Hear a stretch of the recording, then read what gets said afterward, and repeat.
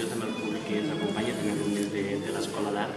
Per la meva part, simplement a la que m'he limitat a inaugurar aquesta exposició, una exposició de treballs com a també de l'Escola d'Art, que inicia curs. Aquí tenim una petita mostra de tot el que es fa a l'Escola Municipal d'Art. Podran veure obres escultòriques, ceràmica, fareria, també.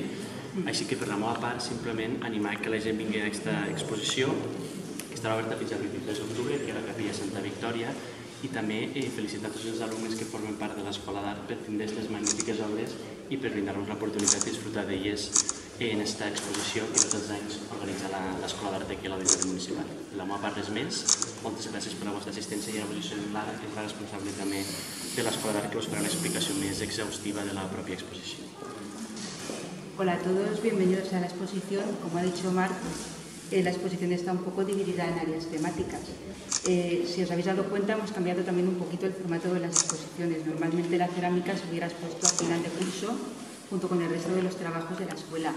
Nos parece más adecuado mostrarla por separado porque hemos llegado a un punto en que tenemos tantas piezas que exponer a final de curso que realmente no lucen.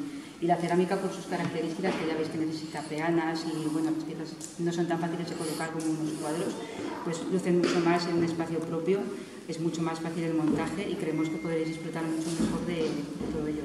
Como ha dicho él antes, es fácil ver la disposición que tenemos en la exposición. Tenemos una sección de alfarería, todo esto, claro, se trabaja durante todo el año, cada cada alumno según su nivel trabaja un poquito en una temática u otra.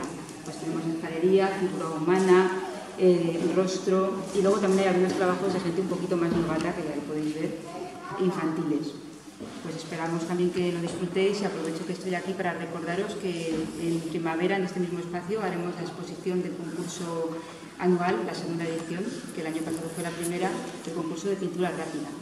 Haremos aquí la exposición de pintura, esperemos que estéis aquí y aprovecho ya que tengo la cámara delante para reivindicar, como siempre, que nos gustaría tener un espacio más adecuado en la escuela para poder trabajar mejor. Queremos un espacio más en una escuela nueva. Muchas gracias a todos y que disfrutéis de la exposición.